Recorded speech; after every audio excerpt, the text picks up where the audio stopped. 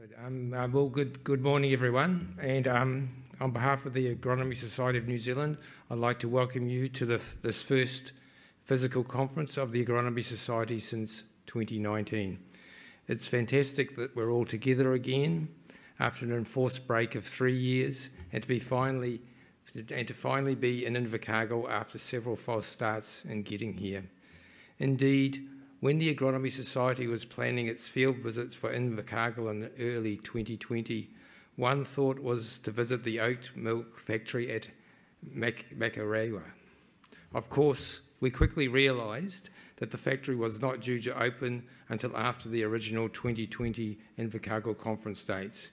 However, I have to say, at sometimes during the subsequent two years, we did wonder if the factory would be open before the conference was able to take place.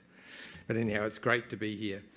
It's great also to be joining again with the New Zealand Grassland Association for our joint conferences and to be joining with the New Zealand Animal, Animal Production Society for the first time. This brings together those with an interest across the pasture, crop, animal continuum, which I'm sure will result in a wide and interesting range of presentations and field visits. Plus, I suspect some lively discussion both during the sessions and breaks, particularly with the recent government's announcements around He Waka e Kanoa, which we've already heard a little bit about this morning and the potential impact. So this is, the, of course, the primary sector climate action partnership. The aim of this is, of course, to reduce agricultural greenhouse emissions and build the sectors resilient to climate change, but um, We've already heard the talk this morning from Jacqueline Rowarth and, and some perhaps some alternative thoughts on that. However, the, the theme of climate change was to the fore a few months back when the Agronomy Society marked 50 years since its founding in 1917. This was marked with a symposium on environmental impact and solutions for arable and horticultural production systems.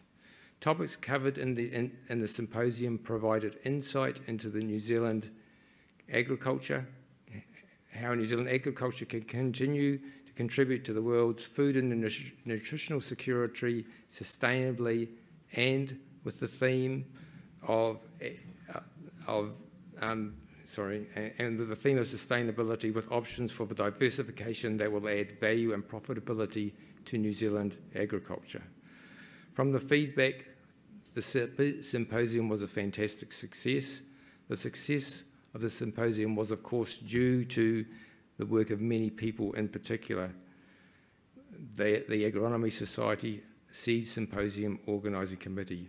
These were Edith Khaembah, Amy Dawson, John Hampton, Robert Southwood, and Murray Craighead. The symposium organisation was always undertaken with enthusiasm and positivity despite the uncertain environment. Indeed, as one of the symposium organising committee pointed out, they in effect organised the symposium three times. But despite this, the dedication to providing the best possible symposium to celebrate 50 years of the Agronomy Society never waned, and I think the result was a true credit to those efforts and that positivity in creating a symposium, which unfortunately I wasn't there, but from all reports was a great event and something to really mark our first coming together at the end of COVID, as well as 50 years of agronomy. So as I've said, the symposium was an event that the Agronomy Society can not only be proud of, but was also a wonderful way to mark 50 years of the Agronomy Society. At the same time, though, it does pose a challenge to the Society how can we as a society continue to build on the success of the symposium in the past 50 years? Just to give you some background, for those of you who are at the symposium, you may have some of these figures already, but since its formation, the Agronomy Society has enabled the publication of 928 papers from its conferences and 13 special publications on topics ranging from lucerne as the first special publication in 1982 through to potatoes, various cereals, legumes and seeds, adding another 310 papers. So that's nearly around 1,200 papers in total. And it's interesting too to note that um, the very first issue was reprinted several years ago as a result of re renewed interest in lucerne as a crop. So this is a timely reminder that while we need while new solutions will undoubtedly be needed for the challenges posed by a farming environment that is likely to be warmer and drier in the future, some of the solutions may also be found in work already undertaken. Just as a reminder, the Agronomy Society was founded over 50 years ago with the aim to promote the advancement of scientific research and practice of agronomy in New Zealand and to encourage the flow of agronomic information. As I mentioned in my opening remarks um, for the symposium, I'm sure that when the Agronomy Society was formed in 1970, the founders would not have imagined that the world would be so dramatically affected by a global pandemic, with cities closed down and travel around the world virtually halted. But what they could perhaps have told us was that during the pandemic, agriculture would in most countries be considered an essential services and all efforts made to ensure that food continued to be produced and moved as a priority. This aim remains as relevant as ever in a world that needs to feed a projected 9.8 billion people by 2050 sustainably. In addition, we have sadly seen the, with the war in Ukraine how vulnerable the world's food supply can be to events other than climate change.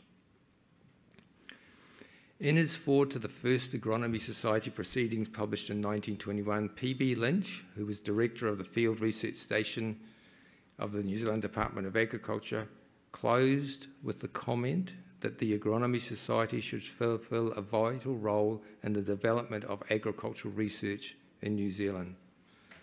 I believe that this aim remains as relevant as ever, and perhaps even more so in the international context where new species may be needed in response to the drier and warmer environment predicted and to contribute to the reduction of greenhouse gases. As a society, we must continue to contribute to the research environment by supporting research and enabling dissemination of research that will contribute to finding solutions to challenges such as climate change and a growing world population that only needs to be fed, but to be fed with food that is high, of high nutritional value. The recent symposium held um, to mark 50 years is a good example of how the Society can contribute to the dissemination of knowledge. But I'd like to make a challenge to you here today. I'm sure that there will be similar symposium in the future, as well as the annual Agronomy Society conference, but other activities such as field days need to be considered. So over the coming two and a half days, if you have any ideas of how the Society could engage in its task, its aims, please talk to me or any of the other council members, Emmanuel who's here. Um, we're really keen to hear your feedback and ideas of how we can grow on the success of the 50th anniversary symposium of 50 years of agronomy. One thing that has also changed in the last 50 years is the world as we know it is far more interconnected than when the society was founded. We can communicate with people on the other side of the world virtually instantaneously. That may or may not always be a good thing, rather than the days or weeks it previously took. Similarly, our ability to send and access information both within and beyond New Zealand has changed dramatically, and the ways we can do it have changed dramatically. At the symposium, some participants joined online. This was the first online attendance and has the potential to expose the work of the Society to a much wider audience. But at, at the same time, there was a strong in-person attendance, around 172 uh, people in attendance at the symposium. My feelings from the physical meetings that I've been to since travel and physical meetings again become, became possible is that many people want and are very positive and very enthused about returning to physical meetings and there's a strong desire to have them in the future. But how this will continue to develop after the, I think what we should say was the euphoria of people coming together after nearly two and a half years, sometimes three years of not being able to meet physically. I think we need to think about how this will develop in the future and how future events will be developed. Will they be physical? Will they be online where possible? Or will they be a combination of both? I would like, also like in this address to, to take the opportunity to remind you that the Agronomy Society is active on social media, in particular Facebook. Agronomy Society of New Zealand is our Facebook page, and Twitter at NZ um, is our Twitter handle. So these platforms are another effective way of connecting with members and reaching with people of an interest in agronomy outside the membership, and hopefully initiating membership in the society. However, these platforms can only be effective if there's a continual feed of information. So I'd also like to ask you if during or and beyond the conference you see something, come across some content that would be suitable for either of those platforms, please send these to Amy Dawson and for you, those of you who don't have her contact details, I can give them to you and she will aim to upload them within, with, with both the, within both those social platforms. Um, so we come together to, for these two and a half days to, of course, go on field trips, but also to presentation of research as part of the aim, the role of the Agronomy Society. So at the, at the end of this um, address, we'll begin presentations of research submitted to the Agronomy Society in 2020 and 2021. So um, we're really a little bit in catch-up mode because, of course, the conferences in those years were, not possible. Um, but some of those papers are already available on the Agronomy Society website under 2020 to 2022 journal papers. Um, I think what's really interesting for me about the Agronomy Society and, and, and what we receive is that the papers and the presentations cover a wide range of topics. So for 2020 and 2021, these included um, topics from seed production and seed treatments, um, potential new crops, forage crops, and the management of nitrogen and other crop inputs such as water and magnesium. And I think for me, the diversity of topics is one of the strengths of the Agronomy Society in providing researchers and practitioners the opportunity to share their work across a wide range of agronomic topics and at the same time bring this wide group of people together. Uh, one important uh, discussion that will be held in the Agronomy Society at the annual general meeting that will occur at 5.30pm on Wednesday is whether we should continue to pr print the Agronomy Journal, Agronomy New Zealand, as a hard, as a hard copy. Um, I think this is a significant discussion for the Society because from the very beginning of its existence, it has always printed proceedings as a membership benefit and distributed that to the membership. Now, that doesn't mean that the Society has to continue to do that. As I've already said, the way and means of communications has changed dramatically since the Agronomy Society was founded. But what I would like to see is before any decision is made whether to continue or to stop printing Agronomy New Zealand, that there is wide input from the membership into that discussion. So if you, I would therefore urge you to come to the AGM to participate in that discussion. I'd also like to draw uh, attention to the fact that for all of its existence, the Agronomy Society has relied on voluntary labour for most of its activities.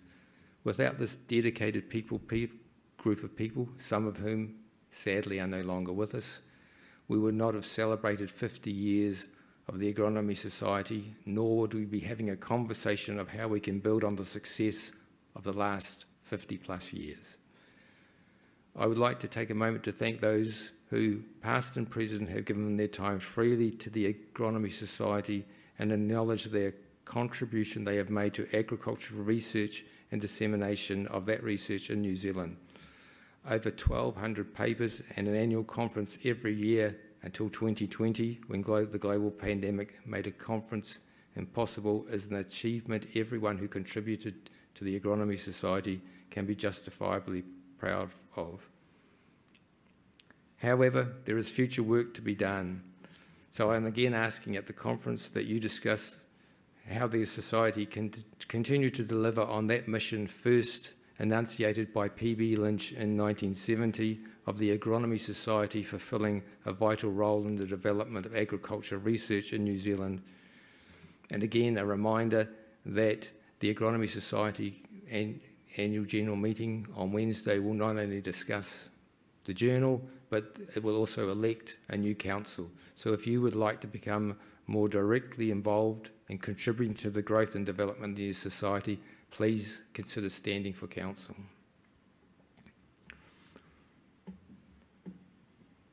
So in closing, I'd like to wish you all a great conference with the opportunity it provides to listen to speakers, discuss the issues raised and possible solutions across the pasture crop continue and combined with field visits including the three organised by the Agronomy Society, Triflor Tulips, the Old Distillery and Blueberry Country. These visits have been put together for us by Nicole Morris I thank Nicole for all the work she has done in organising the visits supported by the local organising committee for the conference. I would also like to thank the New Zealand Grassland Association for once again inviting us to join with them for their conference and the considerable work undertaken by the local organising committee, um, as the name suggests, for organising the conference on behalf of all three organisations participating. They've put together a full and varied program which I'm sure we will all enjoy very much. So in closing, I look forward to talking to you during the conference and seeing you at the annual general meeting. Thank you.